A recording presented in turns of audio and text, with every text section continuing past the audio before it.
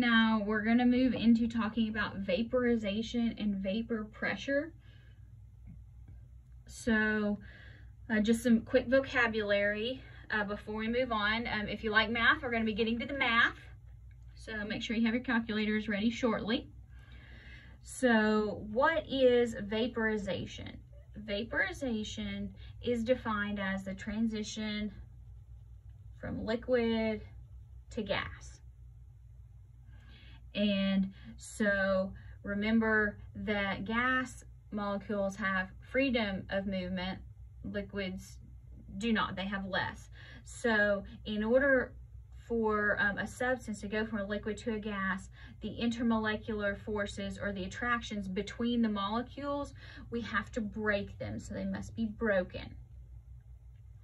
So the amount of vaporization is increased as the temperature increases. That's what we're used to, heat it up. So think kind of boiling of water. Um, you can also increase the vaporization by increasing the surface area. So think about it this way. Um, if you have like a cup of water sitting on the table and then you take another cup of water that's the same amount of it and you spill it, which one's going to dry faster?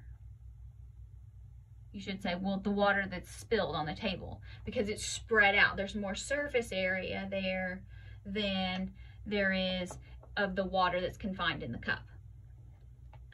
And then um,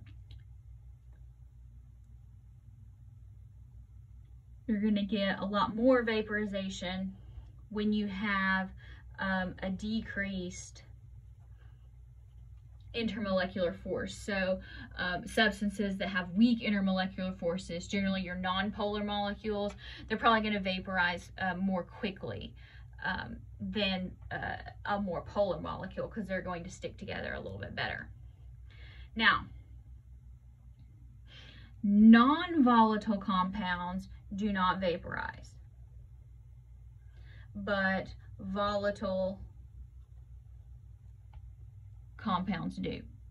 So we're going to have to talk about the difference between a volatile and a non-volatile. That's going to be um, important when we get into doing some calculations. But um, we're going to be talking about how to make something go from a liquid to a gas. Just because something is non-volatile doesn't mean it never goes to a gas. It just is a little bit harder uh, to, to get done.